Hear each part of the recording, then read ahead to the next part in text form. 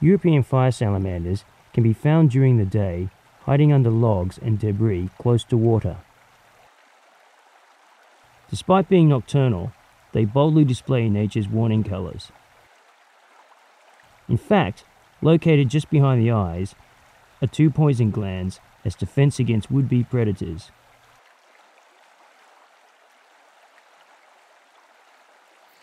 Waiting for darkness to fall, they will begin searching for food.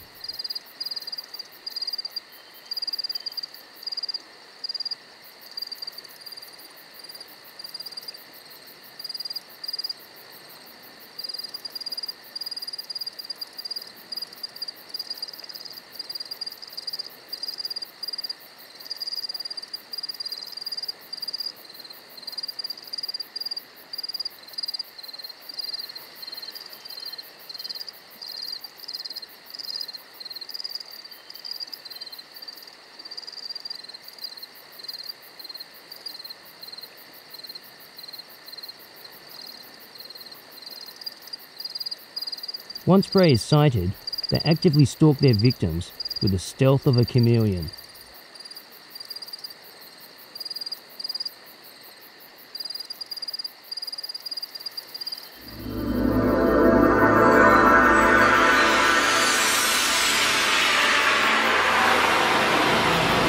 Tongue shoots out to capture a cricket in a lightning fast move, almost too quick for the eye to see.